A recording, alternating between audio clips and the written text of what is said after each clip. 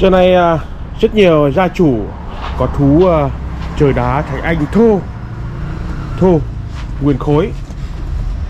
Trước mắt các bạn là một trụ đá thành Anh à, thô nguyên khối Nặng 40kg Được anh em mài bóng Để nguyên thô như này. Để anh mài bóng một góc Để các bạn là xem phần lõi bên trong này là một dạng ờ, gần như là cuội. Cuội. Được, anh em anh em mà cắt chân. Cắt chân thế này. Dành cho các gia chủ thích chơi ờ, đá thô phong thủy. Đá thô phong thủy. Còn nguyên năng lượng chưa qua xử lý.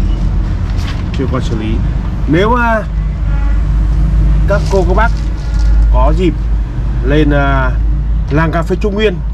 Sẽ thấy uh, trên bầy trên uh, quầy thu ngân họ để uh, ba cục đá thô nhưng họ đã lột ra lột vỏ. Còn đây anh em giữ nguyên còn nguyên phèn như này. Năng lượng năng lượng. Dành cho cô bác thích uh, chơi đá thì anh năng lượng. Năng lượng tối xoay đi pin vào, khá là đẹp. Có nhiều gia chủ thích à, để cục đá thô này. Ngay chỗ bàn trà hay phòng khách. Phòng khách, góc sân vườn.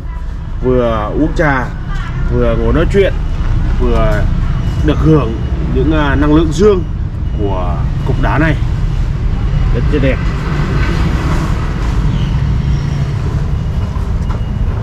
anh em cũng đang uh, sử dụng những cục đá thô để trang trí chân trạch uh, ngôi nhà của mình. Tài lộc tài vượng. Cảm ơn các bạn đã xem video của anh em sàn tây nguyên. Có dịp mà mời các bạn ghé thăm anh em sàn tây nguyên. Anh em sàn tây nguyên xin chào và hẹn gặp lại.